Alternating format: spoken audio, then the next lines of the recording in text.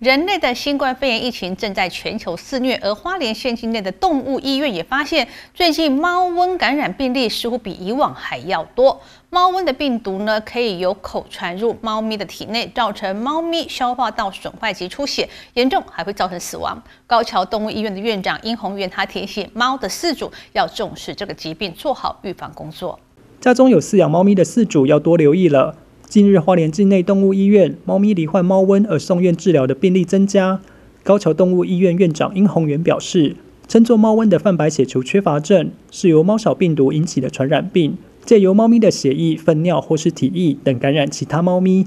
人类没洗干净的手、没更换的衣物、猫咪的睡床等器具，也都可能成为传播的媒介。最近的猫瘟病例特别的多，那当然也许是因为气候或者是因为环境的改变造成的。那猫瘟这个病毒呢，它只会在猫咪身上造成一些消化道的症状啊，但是其实对猫咪的伤害很大，对人是不会有影响的，这点大家不用担心。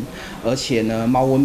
呃，这个疾这个病毒呢是有预防针可以预防的。我们每年只要按时的施打三合一的疫苗，甚至猫咪还有四合一的疫苗，只要有按时施打疫苗，其实猫瘟是可以预防的。它最初的症状就开始食欲下降，然后精神不好，那甚至有一些呕吐跟拉肚子的症状。特别是猫瘟这个病毒最常感染到的是就是消化道的这些细胞，所以呢，呃，吐跟拉是一个最明显的症状。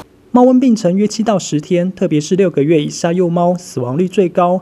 建议在幼猫时期完成三合一、四合一或五合一疫苗。成猫每年施打一次三合一疫苗，如此才能避免感染，并提醒饲主随时注意环境卫生。如果家中猫咪确诊有猫瘟，就必须和其他猫科动物隔离，以免交叉感染。记者蒋方燕华联市报道。